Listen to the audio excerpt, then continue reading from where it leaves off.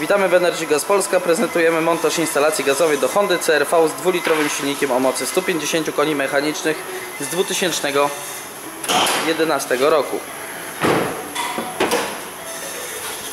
Pod maską znajdziemy instalację BRC Sequent 32, włoski zestaw z dwuletnią gwarancją bez limitu kilometrów. Oto poszczególne elementy tej oto instalacji. Centrala sterująca Sequent 32 przeznaczona aut 3 oraz 4 cylindrowych, bardzo nowoczesny młodszy brat Sequenta 24. Filtr fazy ciekłej z elektrozaworem. Reduktor. Filtr fazy lotnej. Listwa wtryskiwaczy gazowych. Oraz dodatkowy system ochrony gniazd zaworowych, czyli lubryfikacja. Autko spala 11 litrów benzyny, da nam to 12 litrów gazu.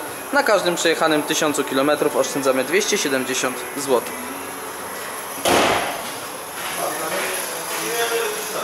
Przejdźmy dalej do przełącznika, który znajduje się obok fabrycznych przełączniczków. Przełącznik informuje nas o trybie zasilania, czy jest to benzyna czy gaz oraz o poziomie ilości gazu. Możemy również z tego miejsca przełączyć sobie tryb zasilania z benzyny na gaz w tryb automatyczny i odwrotnie z trybu autom- automatycznego jazdy na gazie na benzynę wedle życzenia.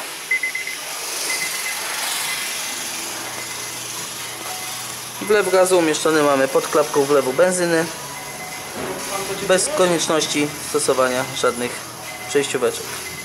Zbiornik w miejscu koła zapasowego o pojemności 47 litrów umożliwi nam przejechanie między 300 a 320 km między tankowaniami.